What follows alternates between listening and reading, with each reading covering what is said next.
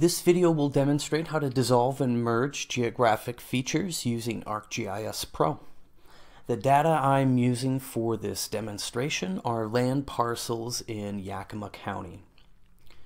So for this demonstration, I'll show how to dissolve and merge together two of these polygons.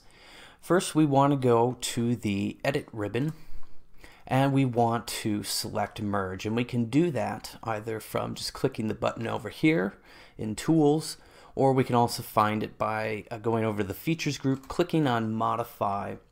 If we scroll down we'll find merge under uh, construct here. And we just click on that to open it. Now we can dissolve and merge two or more features together and what we want to do is first select those features that we want to merge together.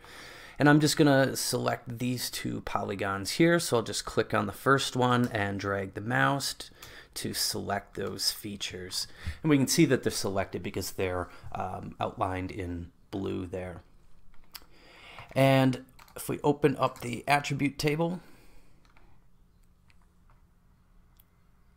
and just go to those that are selected, we see that we've got uh, the two polygons that are selected here, and we are going to merge them together. So all we have to do is click merge in the bottom right hand corner here. And we can see now with the uh, from the attribute table that we no longer have two, that, that those two polygons have now been merged into one.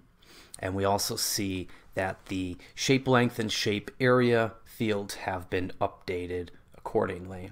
I'm going to close out of this attribute table. And if we're satisfied with the merge that we've done, we can go ahead and click Save uh, up here, uh, the Edit ribbon.